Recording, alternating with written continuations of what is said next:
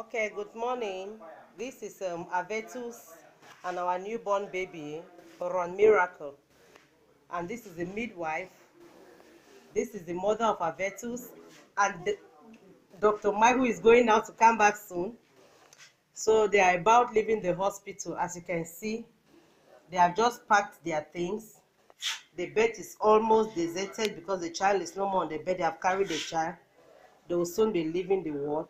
These are their things that they have packed. As I said, she does not have a box, so she will put the things whatsoever. So she has a word to say for a word of appreciation.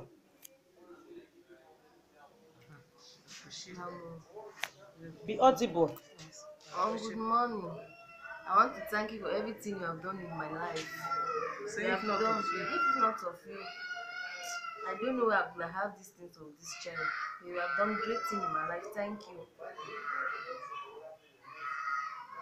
A word to the donor. This is your namesake. I want to show you your namesake. What's the name? Ron. Ron Miracle.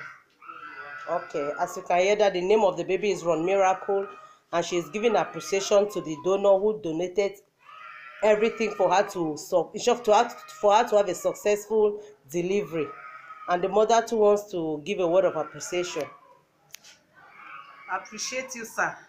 May God bless you in the name of Jesus. If not of you, we don't know how we could have managed this life. Appreciate you. Let let love lead. Appreciate you too much. So you are your son uh, Ron Miracle, Father. Let lo- the love lead to your Amen. to your son Ron Mila- Miracle. amen okay so thank you